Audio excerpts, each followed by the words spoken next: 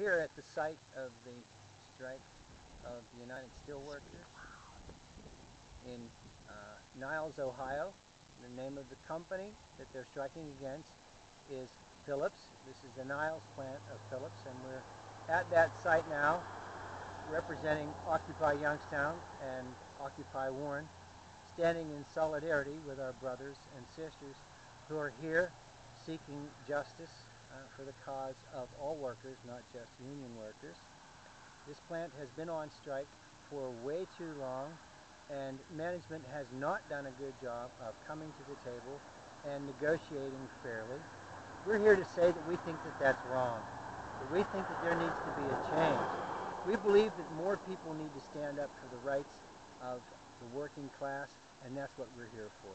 As Occupy, we're here to represent the 99% in opposition to the corporate greed of the 1%.